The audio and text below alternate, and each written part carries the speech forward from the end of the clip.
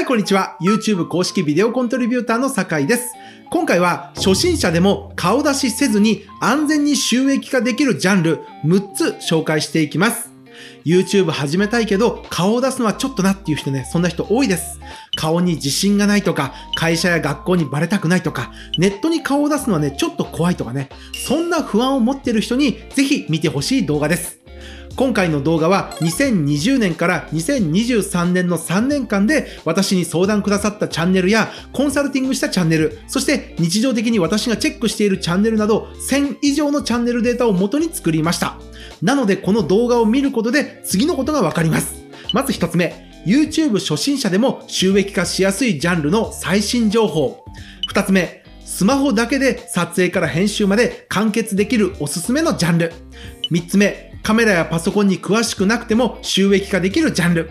4つ目、収益化するためにチャンネルスタート時に押さえておくべきポイント。そして最後5つ目、YouTube 公式ビデオコントリビューターが教える収益化停止にならないコツ。今回紹介する6つのジャンルは顔出しをしなくても収益化ができ、さらに動画作りに欠かせない撮影、編集、この2つの面からもハードルが低いものだけをピックアップしています。ですので、スマホだけで撮影、編集まで完結できるジャンルから、スマホで撮影して、編集はパソコンでした方がいいものとかね、ちょっといいカメラを購入した方がいいもの、撮影は必要ないけど、パソコンでの作業が多いものなど、作り方についても紹介していきます。さらに後半では収益化するためのチャンネルスタート時に押さえておくべきポイントと YouTube ショートの上手な活用法もお伝えしていきます。これを知っているかどうかで収益化までのスピードが10倍違います。YouTube をこれから始めたいという人の入門編にぴったりの動画になっています。ぜひ最後までご覧ください。それでは早速行ってみましょう。最初に2023年から新しくなった最新の収益化条件を簡単におさらいしておきましょう。まずですね、広告収益を受け取るための条件は、チャンネル登録者数1000人、公開されている動画の過去365日間における総再生時間が4000時間以上、もしくは公開されているショート動画の過去90日間の視聴回数が1000万回以上、このどちらかをクリアすることが条件です。そして2023年6月からは新しい基準が設けられました。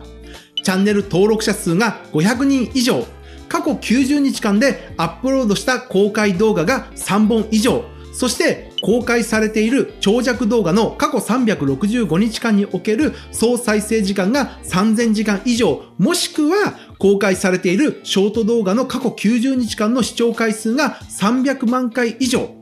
これをクリアすると広告収益はもらえませんが、チャンネルメンバーシップやグッズの販売、ライブでのスーパーチャットが受け取れるようになります。それにですね、500人の段階で収益審査を一度クリアしておけば、1000人の時の審査が格段に早くなります。多くの人が収益化イコール広告収益だと思うので、まずは登録者数1000人、総再生時間4000時間の壁を超えていきましょ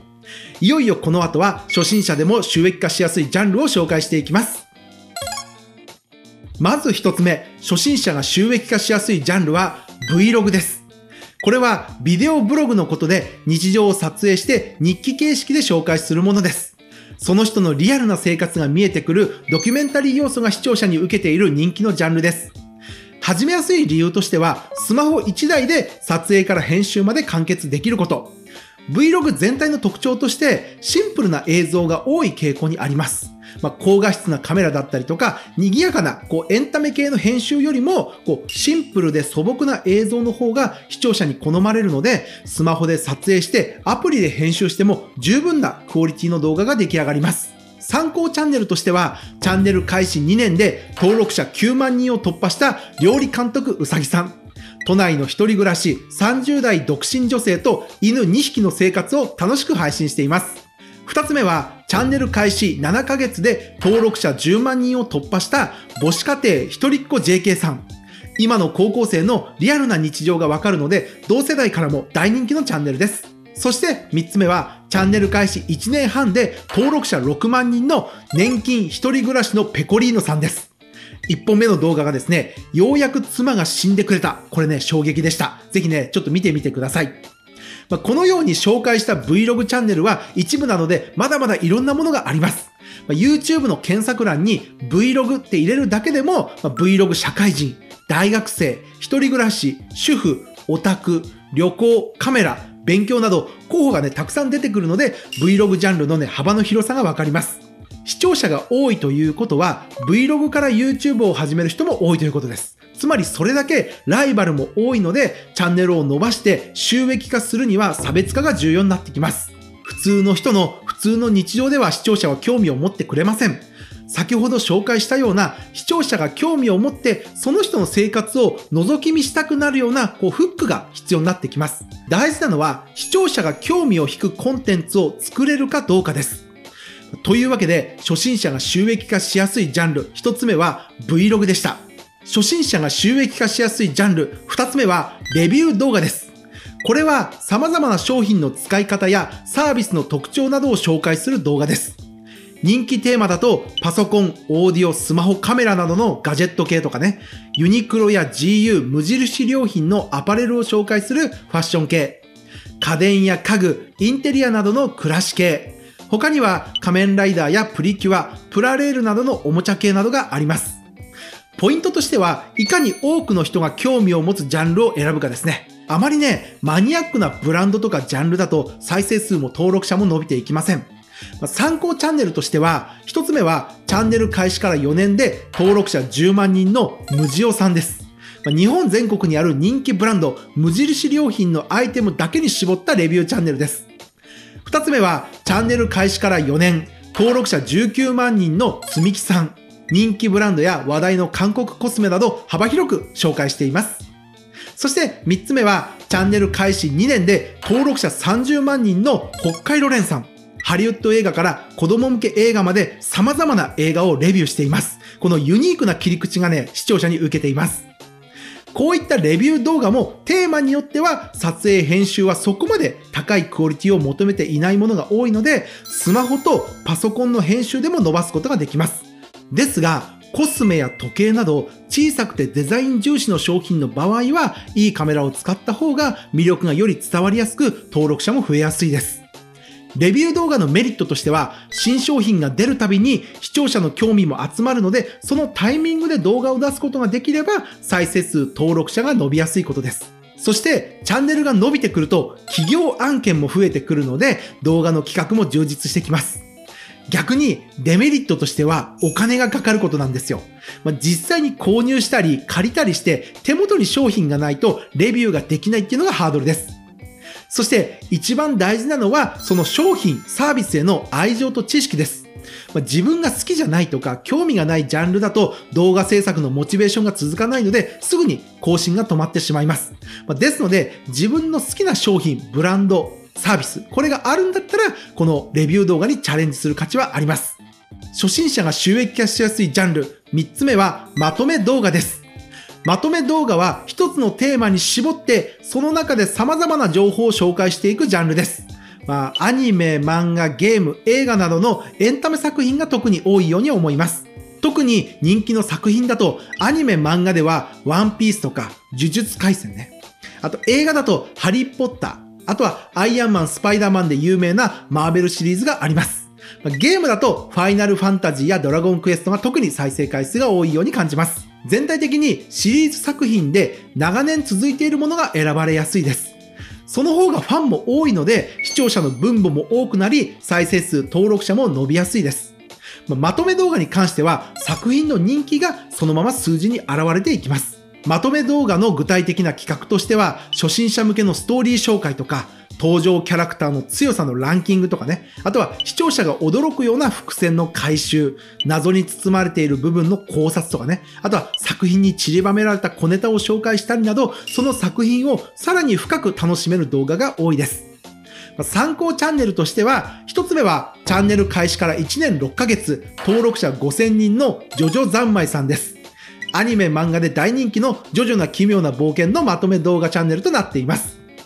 二つ目は、ャンネル開始5ヶ月で登録者は1600人のネオンシネマさん。Amazon プライムや Netflix などサブスク系の動画配信サービスのおすすめ映画を紹介しています。そして3つ目はチャンネル開始から2年登録者6万人のイクさん。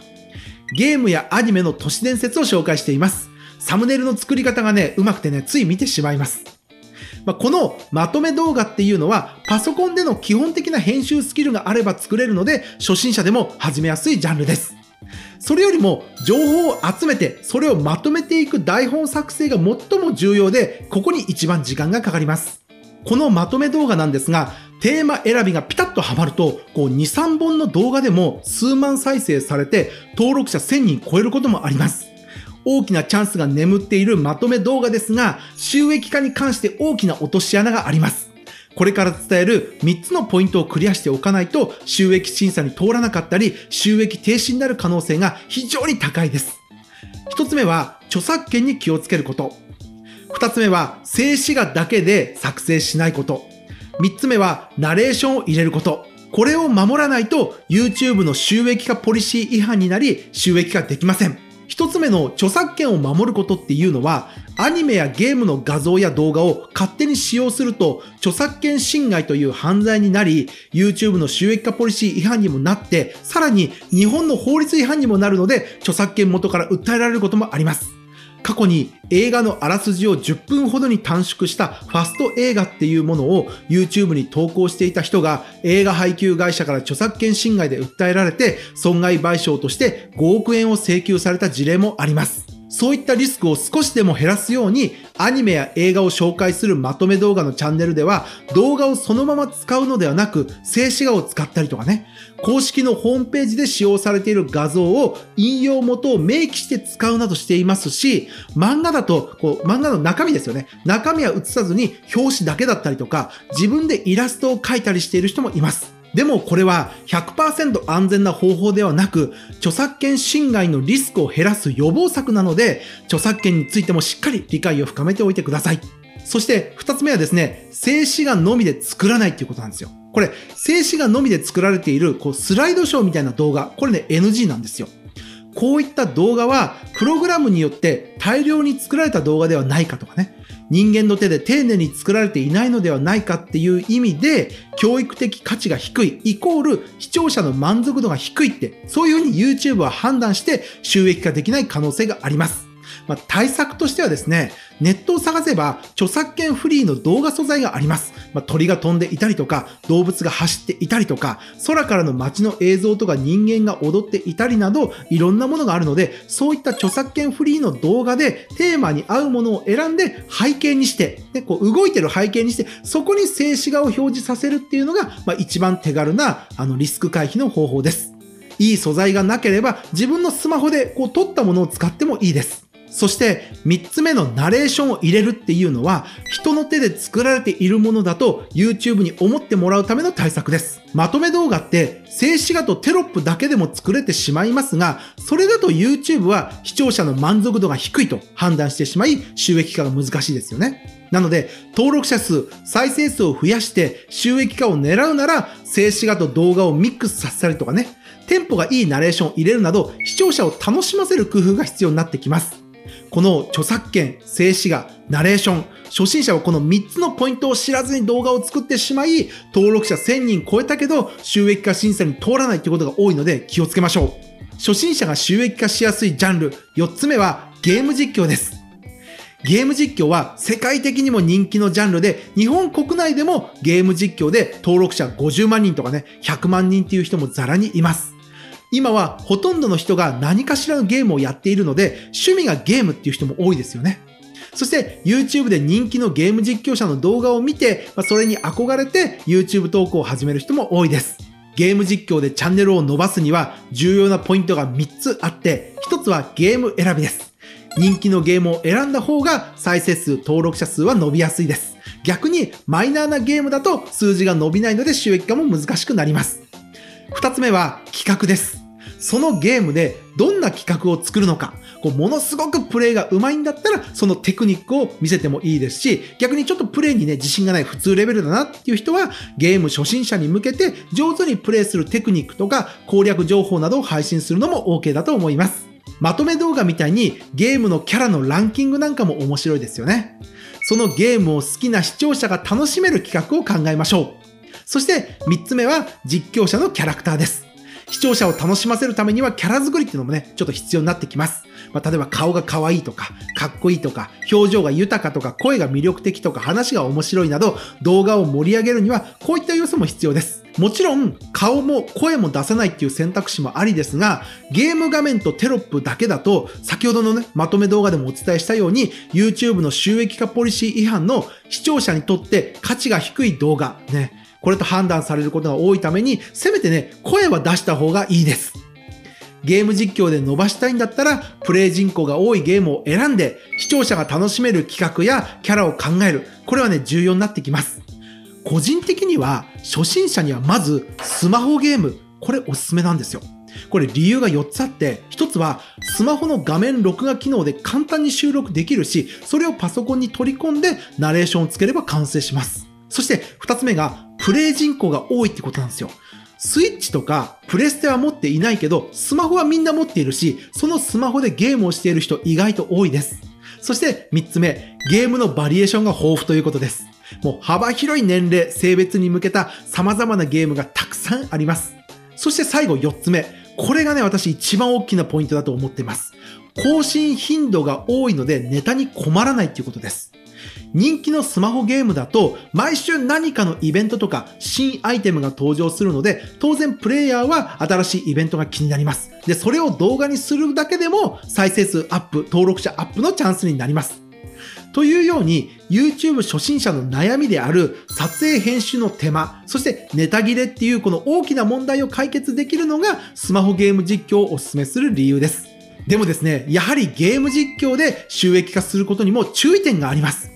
一つ目はやっぱりこれ、ナレーションを入れること。もうこれ先ほど何回もお伝えしたように、ゲーム画面とテロップだけだと、YouTube の収益化ポリシー違反の視聴者にとって価値が低い動画、これね、判定されることが多いため、ナレーションは入れるようにしましょう。できれば、マスクとかお面被ってもいいので、体も映るとさらに安全に収益化できます。そして二つ目は、著作権に気をつけることです。ゲームの中には YouTube などの動画投稿サイトへのアップロード禁止、ネタバレになるようなシーンは投稿 NG っていうソフトもあるので、撮影許可についてはちゃんとね、調べておきましょう。また、ゲーム中のムービーで歌が流れることありますが、それが著作権に引っかかって収益化停止にはならないけれど、その動画だけ広告収入が入らないってことあります。まあ、多いのは、このワンピースとかドラゴンボールなど、アニメが人気のゲームだと、こう、オープニングムービーでこう主題歌入りますよね。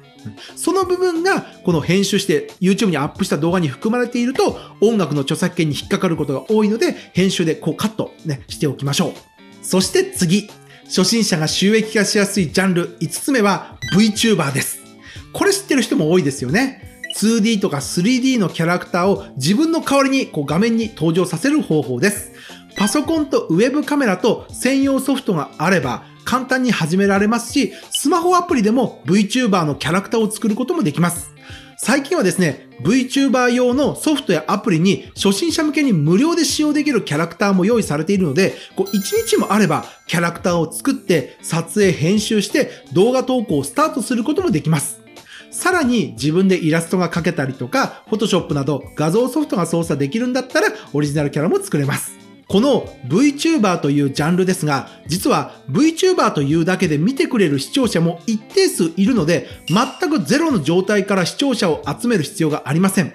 までもですね、どんな VTuber でも見てくれるというわけではないので、やはり他の VTuber とは違った差別化も必要です。まキャラクターが可愛いとか声がいい、トークが面白いっていうポジションは人気 VTuber でもほとんど埋まってしまっているので、それとは別のポジションを狙う必要があります。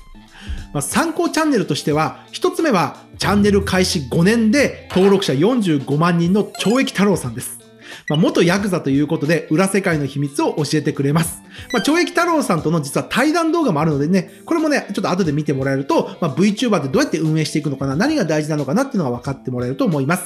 そして二つ目は、チャンネル開始から1年で登録者5万人、VTuber タンタンさんです。中身はなんと93歳のおばあちゃんということで人生の先輩からのアドバイスが聞けます。というように今から VTuber を始めるんだったら中の人の特徴が重要になってきます。このあたりは最初に紹介した Vlog と似てますよね。視聴者が興味を引くような経験や知識はあるんだけど、顔出しが絶対にできないっていう人には、この VTuber おすすめです。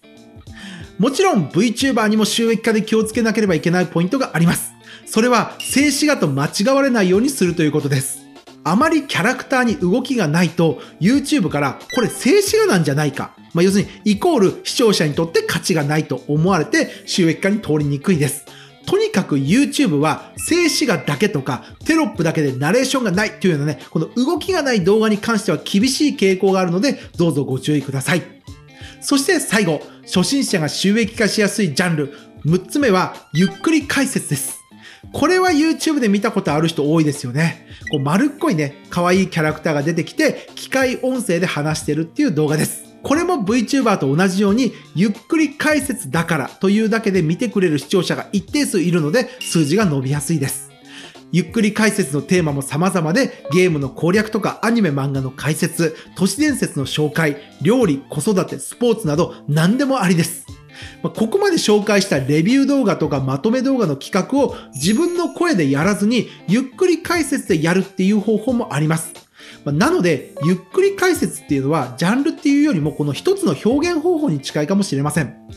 動画の作り方もそこまで難しくなくて、まずはこう、台本を作る。もう喋らせるので、ちゃんとセリフ上に、こう、書くと。ね、それを機械音声のソフトに読み込ませて音声データとして出力する。ね、これで音声付きのデータが出てきます。あとはそれを映像に合わせて編集していくだけなので、この台本が一番時間かかりますが、これさえできれば、あとはそこまで手がかかりません。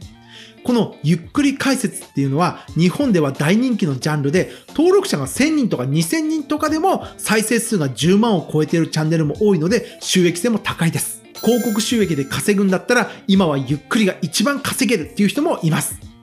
まあ、参考チャンネルとしては、一つ目はチャンネル開始2年で登録者7万人の闇のミステリーハンターさん。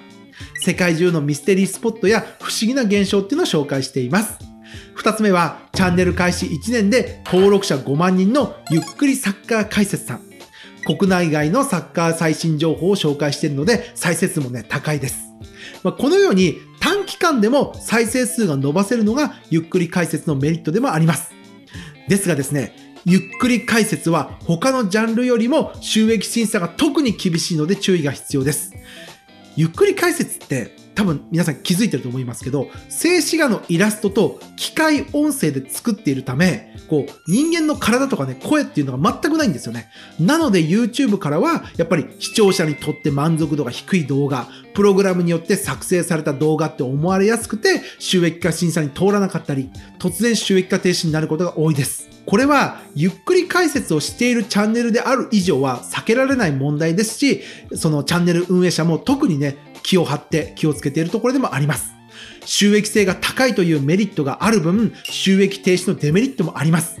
私もですね、こちらの動画で対策を話しているので、ゆっくり解説で収益化したい人は必ず見ておいてください。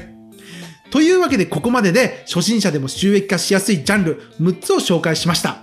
最初に紹介した4つ、Vlog、レビュー動画、まとめ動画、ゲーム実況っていうのは、撮影、編集の基本的な知識があればできますし、スマホで撮影、編集まで完結できるものも多いです。でも、後半の2つ、VTuber とゆっくり解説に関しては、カメラで撮影すること、そういった作業はないんですけども、動画編集とか画像加工、台本作成の知識とかね、そういった時間が必要になってきます。まあ、今回の動画を見て、この6つの中で、あ、これならできそうかなってピンとくるものがあれば、まずはそれをやってみるのがおすすめです。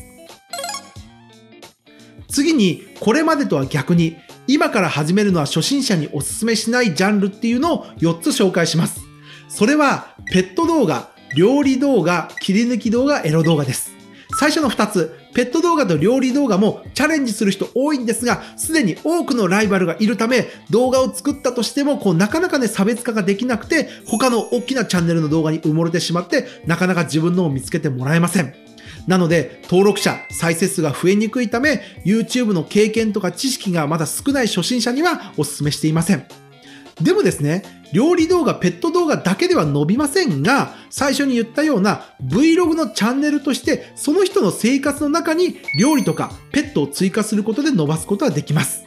どんな料理を作るか、どんなペットかっていうよりも、誰が料理しているのか、誰が飼っているペットなのかっていうことでね、こう視点を切り替えることで、あの、視聴者の興味を引くことができます。次に切り抜き動画ですが、これは他の YouTuber の動画を自分で再編集して別チャンネルに投稿していきます。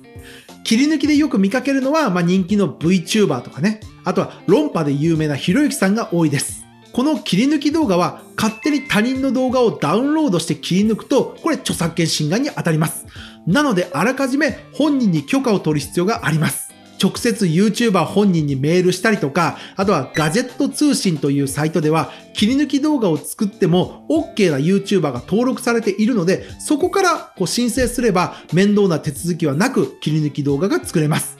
まあ、詳しい作り方は検索してもらえればすぐにわかると思いますし、編集も比較的楽です。そして他人の動画を使うので、企画を考える手間も省けるので、初心者にはメリットは多いです。